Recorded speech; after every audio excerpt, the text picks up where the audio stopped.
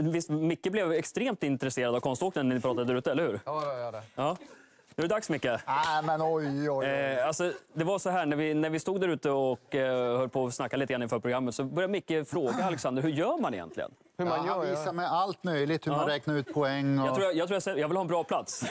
jag går, jag går, Ja, Exakt, och man får akta sig här. Men vad är det vi ska, vad vi ska göra nu? Du ska lära mig att göra Ja, en... det får han välja. Ska han hoppa eller ska jag lära Ja, mig? han ska Men hoppa. Jag ska hoppa.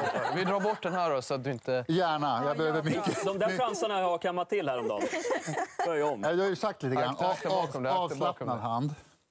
Var det så? Ta det försiktigt nu. Han Alexander, ska du, ska du visa först om du går fram? Jag visar först. Vad är det han ska Nej, göra? för, vi, vi ser dig sen.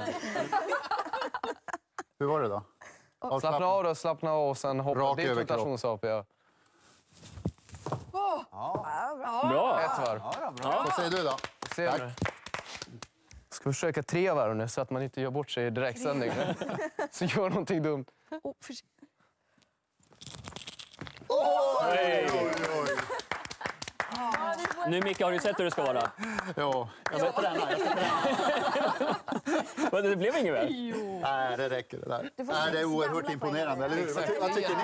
Ja, men det är ju helt makalöst. Det är, ja. det är- ja. Alltså mitt hopp menar jag. Ditt ja. Ja, ditt är bra. Självklart. självklart. Ja, ni menar... Men